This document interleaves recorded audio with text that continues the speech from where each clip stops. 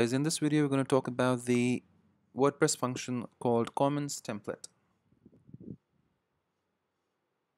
So if you look at Codex, we can see that the comment template function basically loads the comment template uh, file. Okay, uh, in case if you specify what comment template file you want, then it will load that file. Otherwise, by default, it's going to load the comments.php file. Okay, so I'll show you the example and then we can discuss further about this all right? So I'm into my uh, page.php of of my theme which is into the root directory of my theme okay? And um, here's the function that I've called. So I've called this function in page.php is also a, uh, a single page file so it's a template for displaying all pages uh, okay? So over here I'm checking if comment open uh, function get comment number okay? And if either of this is true which means if there are comments inside of the uh, for the post okay then go ahead and use the comment template uh, function to include the comments.php file or the user given file. So in this case because I've not used any parameter over here um, I've not specified any parameter it's just going to include the comments um, .php file by default as you can see here. Okay so file is basically the file to load or by default it comments.php okay so I have my comments.php into my theme okay which is here this file right here. Okay so this is going to include this particular file okay. And um, if you go ahead and check this function is not going to work on the uh, uh, pages which are not a single page okay? So if you click on one of these pages let's say the first one if you scroll down here is the comment template uh, codes that have been displayed over here the content that's been displayed over here. Um, I have used this echo template start and template end just for demonstration purposes so you can see what content is being displayed over here. So you can see template start and template end. And inside of it this is the content that you see which says you know the picture the of the admin, uh, the user, and the date and everything and edit and all of these content is coming from that particular file. So if you check, this is the div comments and you have everything inside of it, the comment title, comment list, etc. Comments are closed. All of this information is coming from there. Okay.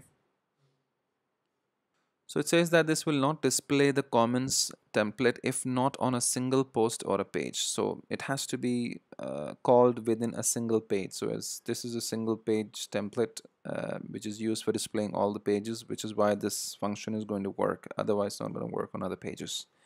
Okay, um, this has to be a single post or a page. Uh, and this comment template will not do anything if the post does not have any comments. The reason why is because first we are anyways checking if the uh, you know there are comment inside of this uh, post.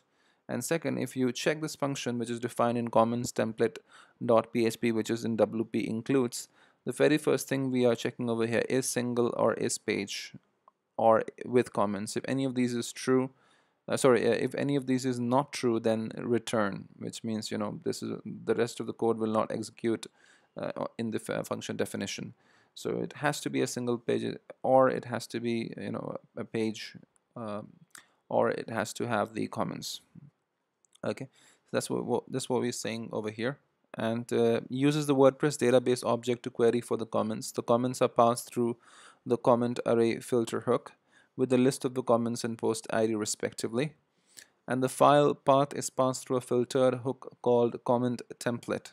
Okay so the path if you see I'll show that to you. Mm.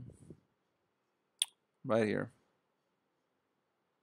Okay you can see this is the path filters the path to the theme template file used for comment template.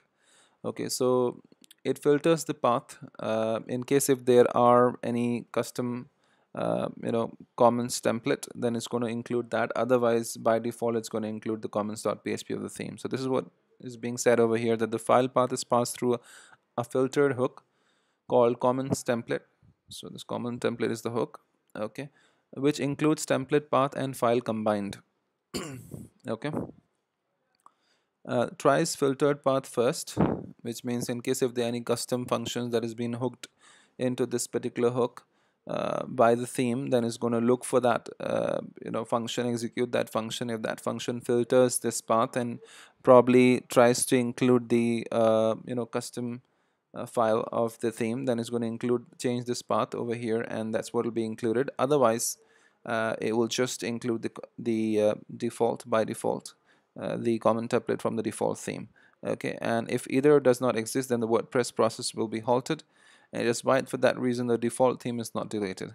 Okay uh, will not try to get comments if the post has none. So this function won't work if there are no comments inside of the post. Okay. And then the next is option these both are optional in fact. The next one is the separate comments whether separate comments by a comment type or not. So this is what we've already discussed. All right.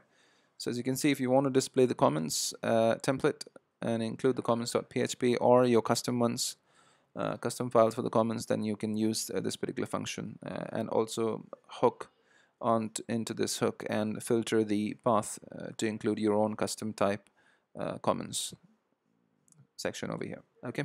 All right then. See you in the next video. Take care. Bye bye